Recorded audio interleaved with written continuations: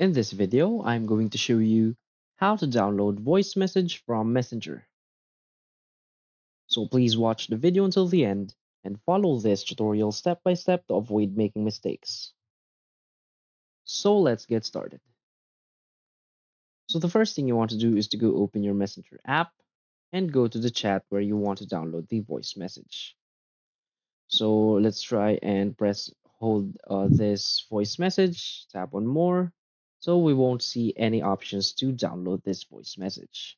So what we want to do is open a web browser and go to facebook.com. Now go to your chats.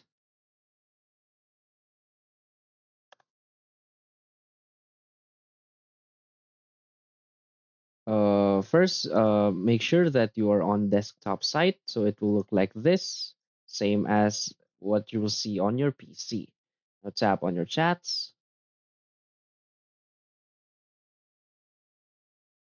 Open the chat. And you will see the voice message right here. Now just tap on the three dots icon beside it, and you should see a download uh, option right here. So in some cases, uh, there are some devices that uh, doesn't have that feature, but if you're lucky, you will see a download option right there. So that's it. So if you find this video helpful, please hit like and subscribe. Thanks.